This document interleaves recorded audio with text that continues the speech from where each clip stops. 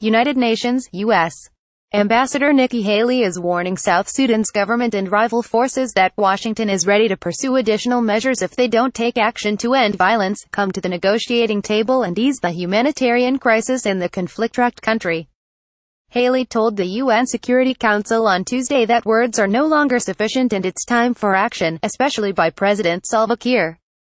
She said the government bears primary responsibility for the killing, raping and torturing in South Sudan and for ending the four-year conflict and saving future generations of South Sudanese. South Korean envoy Bintou Keita said the security situation in the country is precarious and expressed concern at the real risk of an escalation in violence with the onset of the dry season.